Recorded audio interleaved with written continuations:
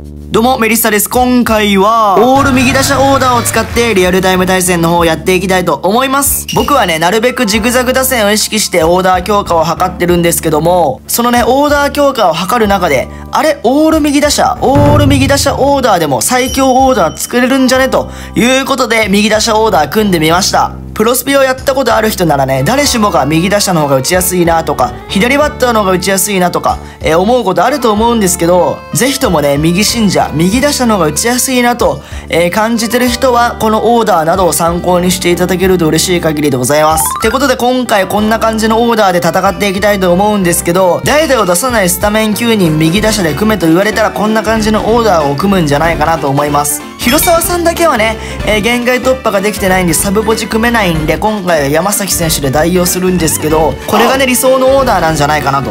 えー、特に右打者は内野が強いですよね。キャッチャーを含めた内野が。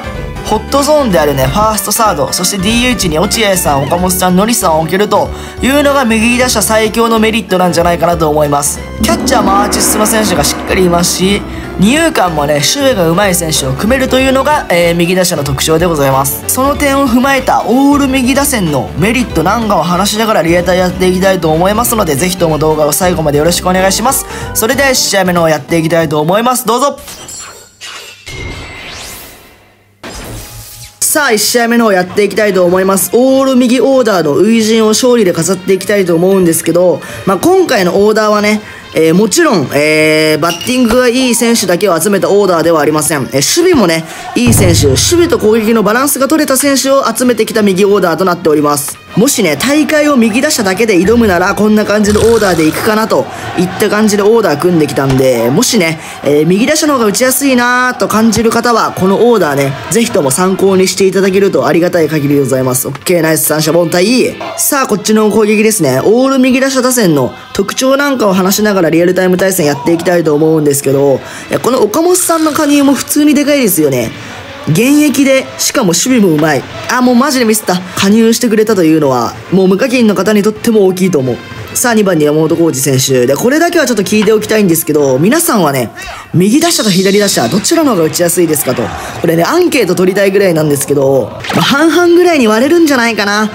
まあ、52%ぐらい左信者かな。っていうイメージなんですけど、で、48%が右信者。個人的なイメージ、これは。僕はね、どちらかといえば、どちらかといえば最近は左バッターの方がちょっと打ちやすいかなって思ってるんですけど、まあ本当に誤差ですね。あんまり僕は右左のこだわりがないんで、オッケー落合さんナイス。入る？えぐえぐすぎる落合さんナイスバッティング。いや、これが、これがね、落合博光よ。オール右打者の特徴は内野陣の強さかなと思ってます。左バッターより勝ってる点はそこかな、やっぱり。もうファーストサードに岡本さん、落合さん、えー、掛布さん、そして山崎武さんもファーストできますし、その選手たちってみんな守備が安定してるんですよね。特に、アイナイスバッティング横浜スタジアム田村さん、うん、いいね、あと1点でコールド。田村さんも打ちやすい。そう、この田淵さんもね、守備が安定してるんですよ。落合さんファースト、サードにノリさん、そしてキャッチャーに田淵さん置けば、もうすんなり、もうすんなりとね、はい、内野陣は埋まるんでナイスバッティングってことで2試合目入りたいと思います。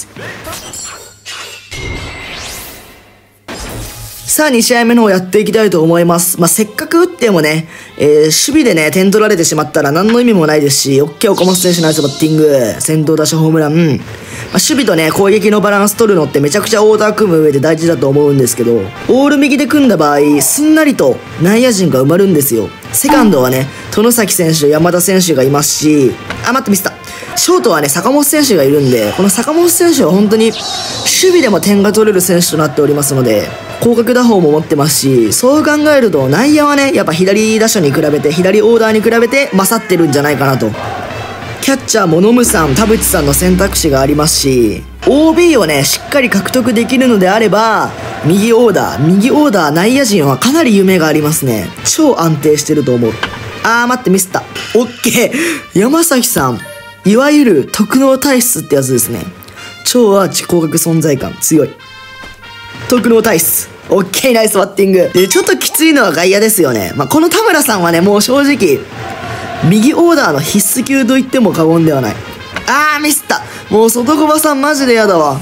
ライトとかもやっぱ現役選手で考えると鈴木誠也選手はリアタイ的に不遇ですし、えー、ラオウ杉本選手なんかは守備がちょっとね、まあ、悪くはないんですけど、え、D だと若干きついかなっていう部分もありますので現役選手だけで右組むとなると外野がちょっとねウィークポイントと言いますかえー、難しいポイントかなと攻撃と守備のバランス取るのが難しいポイントかなと思います。逆に内野を固めてしまって、えー、外野はね代打を出すポジションと割り切れればいいんですけどなかなか OB の選手集めるのも難しいんでね。まあでも一番はそれかな。オール右オーダーは外野にね外野に守備要員の選手を置いてえ代打を出すのが一番理想的なんじゃないかなと思います。さあ、えー、7番、田淵選手ですね。田淵選手、僕は好き好んで田淵選手使ってるんですけど、ここはまあ野村選手でもいいかなと思います。いや、落ちる、ナイス。ボール球ヒット。さあ、ボール球ヒットかまして、オッケー、広角打法を。いや、殿崎さんもね、広角打法を発動すれば、アーティスト並みに打ちやすいんでね、マジこれはガチです。はい。この打席も絶対ホームラン打てると信じてる。うん、I believe future. 例えば君が傷ついて、オッケーナイスバッティング。いや、打ちやすい。さあ、それで9番に坂本選手攻撃打法。いや、素の能力が高いもんね、坂本選手は。いやー、変えるか。まあ、守備でも点が取れる選手ですし、まあ、鳥谷さんっていう選択肢もね、左バッターならあるんですけど、鳥谷さんは広角打法がないっていうのと、獲得できる機会が限られてるんで、その点においては坂本選手の方がまだ勝ってるんじゃないかなとまあ、坂本信者なんでね、僕は。ショートはね。うん、坂本信者なんで。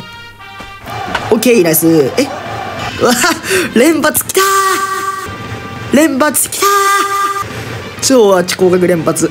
相手はタイピン出てない。かすっただけでホームランになるんじゃないかな。って思ってます。よし、オッケー、ナイスバッティング。いや、今カーソルずれたけど、超強烈な打球が二遊間を襲ったよ。いや、山本浩二選手もね、あ、いた方がいいですね。オール右を組むなら。レフト B で、えー、パワーヒー工学を持ってる選手。山本剛志さんしかいないんで、オッケー。強い打球。あ、ファールか。しかもめっちゃ打ちやすいんでね、そもそも。うん。パワー88。広角打法出てないけど、がしかし、落ちていくんですね。さっきからすごいヒット連発してるわ。中村のりさんもね、えー、今年タイムスリップでの登場期待されてるんで、えー、登場した際はね、獲得することをめちゃくちゃお勧めしますね。さあ、落合さん、特納全出しでございます。まあ、話したいことは大体話せたかな。あ、あとは、あれかな。えー、広角打法とアーティスト、両方兼ね備えてる選手は、えー、右バッターの方が多いと思うので、多いはずです。はい。この落合さんもそうですし、中村紀弘選手、田村選手、山崎武選手と、あと広沢選手と岡本選手も、えー、アーティストの上に、高角打法を兼ね備えた選手ですので、まあ夢がありますね、オール右オーダーには。オール右そう考えると、左より強いのかな？オッケー高角打法。いやー、超えるこれが、これが高級打法の力なのよ。さあ、チャンスの場面なので、広沢さん代打でいきたいと思います。オッケー、高級打法。相手特納全出しか。まあ、全出しでもね。あー、カイル選手。これまた嫌なピッチャー来たね。オッケー、オッケー、オッケー。スピリッツ上がってる。スピリッツ勝ったらこっちのものよ。一発ホームランかましたい。オッケー綺麗綺麗すぎる打球 ああ、骨格発動してたらホームランになってたかないや、田淵選手。いや、久しぶりに使うからな、田淵選手。出方。いや、藤川選手か。いや、これ、打ってコールド決めたいな。オッケーアーティスト、相手 S ランクです。いらっしゃいますので。かなり選択肢あると思う。超えるっしょ。もうすげパワーありすぎでしょ。今、詰まったよ。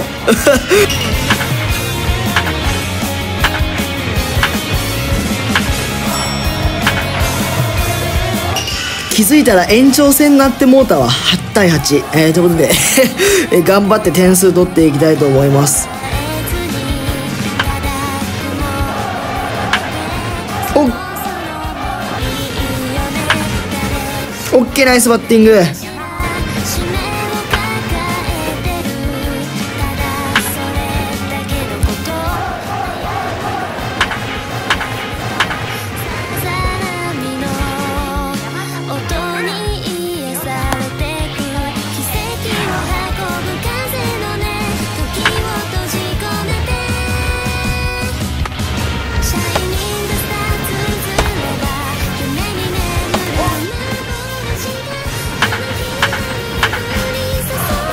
はい、ということで今回もご視聴いただきありがとうございました。話したいことが多すぎて、喋りすぎて、途中ね、話がごっちゃごちゃになってしまう場面も、そこはね、ちょっとあのー、申し訳ないと思ってるんですけども、まあ、オール右オーダーをやったということはね、オール左オーダーもやりたいと思ってますので、またね、次の動画も楽しみにお待ちいただけると嬉しい限りでございます。ということで、今回もご視聴いただきありがとうございました。チャンネル登録、高評価の方お待ちしております。それではまた次の動画でお会いいたしましょう。